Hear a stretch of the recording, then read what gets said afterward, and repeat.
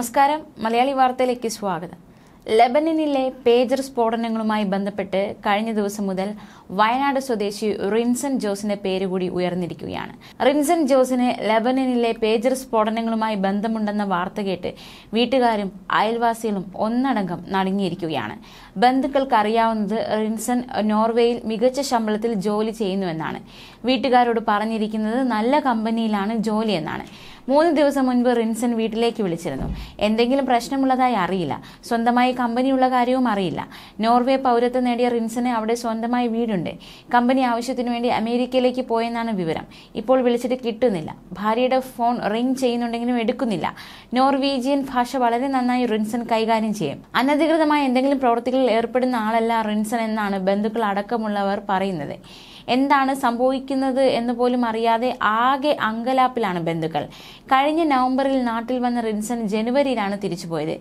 M B A പൂർത്തിയാക്കിയ ശേഷം നോർവേയിലേക്ക് student വിസയിൽ പോയി. അവിടെ പല ജോലികളും ചെയ്തു. നിലവിലെ ജോലി ഏറെ കഷ്ടപ്പെട്ടാണ് കിട്ടിയതെന്നാണ് റിൻസൺ പറയുന്നത്. ഭാര്യയ്ക്ക് ഇതേ കമ്പനിയിലാണ് ജോലി. രണ്ടു വർഷം കൂടുമ്പോൾ നാട്ടിൽ വരാറുണ്ട്. കഴിഞ്ഞ നവംബറിലും റിൻസൺ നാട്ടിലെത്തി. റിൻസനെ കുറിച്ച് എല്ലാവർക്കും നല്ലത് മാത്രമേ പറയാനുള്ളൂ. മാനന്തവാടി മേരിമാത കോളേജിലും ബാംഗ്ലൂരുവിലുമാണ് റിൻസൺ പഠിച്ചത്. കോട്ടയം സ്വദേശിയാണ് റിൻസന്റെ ഭാര്യ. ഇരട്ട സഹോദരനും മറ്റൊരു സഹോദരിയുമുണ്ട്. സഹോദരന് യു കെയിലാണ് ജോലി. പത്തു വർഷം മുൻപാണ് റിൻസൻ നോർവേയിലേക്ക് പോയത്. എന്തായാലും റിൻസനിലേക്ക് ഇപ്പോൾ കാര്യങ്ങൾ എത്തി നിൽക്കുകയാണ്. പക്ഷേ റിൻസനെ കുറിച്ച് അല്ലെങ്കിൽ റിൻസനിലേക്ക് അന്വേഷണം പോകേണ്ട എന്നൊരു നിലപാട് ബൾജേറിയ സ്വീകരിച്ചിട്ടുണ്ട്. അതേസമയം ലെബനനിലെ പേജർ സ്ഫോടനങ്ങളുമായി ബന്ധപ്പെട്ട് റിൻസന്റെ കമ്പനിയുടെ പ്രവർത്തനത്തെ പറ്റിയും അന്വേഷണം തുടങ്ങിയെന്ന് രാജ്യാന്തര മാധ്യമങ്ങൾ റിപ്പോർട്ട് ചെയ്യുന്നു. അന്വേഷണ ഏജൻസികൾക്ക് വിവരം കിട്ടിയത് പേജർ വാങ്ങാൻ പണം കൈമാറിയത് റിൻസന്റെ കമ്പനി വഴിയാണെന്നാണ്.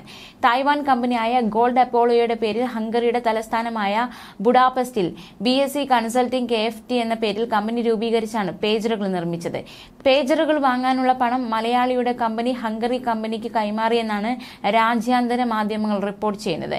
നോർവേയിൽ താമസിക്കുന്ന റിൻസന്റെ കമ്പനി ബൾഗേറിയയിലാണ് രജിസ്റ്റർ ചെയ്തിരിക്കുന്നത്. നോർവേയിലെ ഒരു കമ്പനിയിൽ റിൻസൺ ജോലി ചെയ്യുന്നുമുണ്ട്.